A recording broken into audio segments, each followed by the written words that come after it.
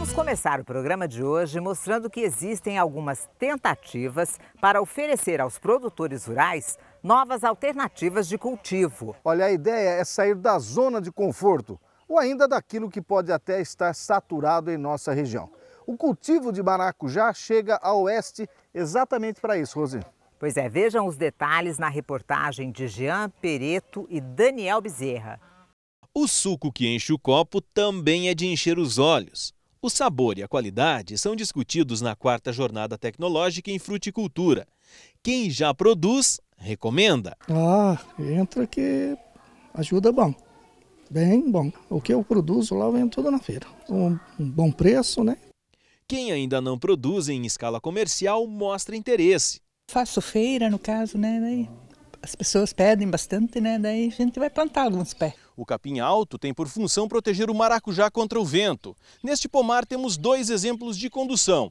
De forma latada, funciona como se fosse um parreiral, já que ao lado, de forma espaldeira, o fruto é plantado em colunas. Qualquer um dos dois é viável financeiramente para pequenos produtores e agricultores familiares. O IAPAR de Santa Helena desenvolve projetos em parceria com a Itaipu Binacional e várias frutas são plantadas e estudadas no local.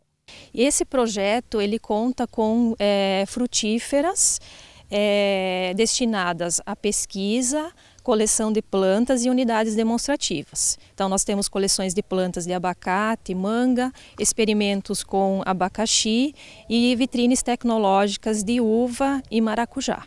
O pesquisador procura alternativas para pequenos produtores que mantêm o cultivo sempre dos mesmos produtos. Então, a preocupação era trazer cultivos de alto valor agregado.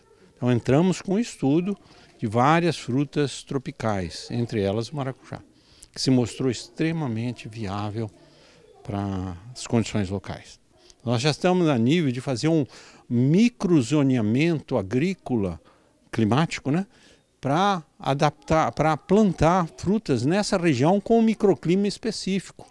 A região do extremo oeste é propícia para o cultivo de frutas, pois devido ao lago de Itaipu, a incidência de geadas é menor.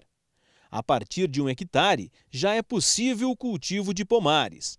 O potencial turístico da região é favorável para a comercialização das frutas. O que nós precisamos é política de desenvolvimento. É, não estou falando política partidária, votar nisso, aquilo, não é nada disso. É, sim, nós temos que ter regras claras que favoreçam e dê segurança para a tomada de decisão. Maracujá é uma planta com aptidão industrial incrível. O mundo precisa descobrir maracujá. Rose, você sabe qual é a origem do maracujá? Nem imagino. Paraguai. O pessoal fala muito que é no Paraguai. Outra coisa, tem mais de 500 espécies de maracujá cultivadas mundão afora. Bastante, né? Interessante, né? Muito bastante. Bom, eu sei que consumir maracujá também pode ajudar a reduzir o envelhecimento precoce, diminui inflamações, melhora o sono e combate sintomas aí da asma, entre tantas outras propriedades que a fruta tem.